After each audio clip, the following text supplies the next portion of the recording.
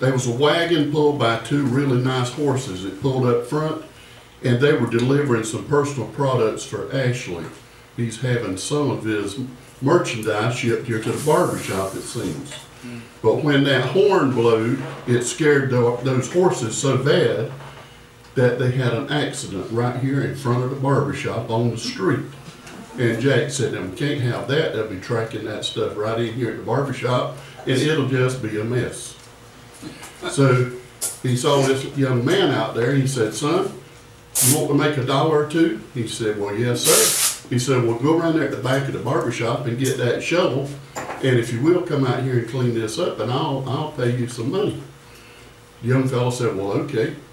So a few minutes, Jack went out there to check on him, and the young fellow was sitting there, stir, he had piled it up in a pile, he spread it out real good, and he was drawing a picture in it.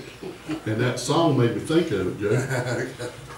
He was drawing a picture right in the middle of it, and Jack looked up, he said, son, what are you doing? He said, I'm drawing a picture. He said, of what?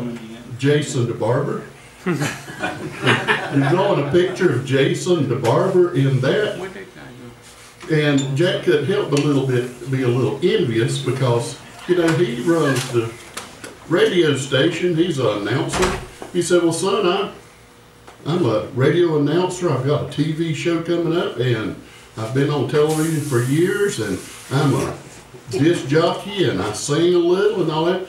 Why didn't you draw a picture of me in that? He said, I didn't have enough horse manure.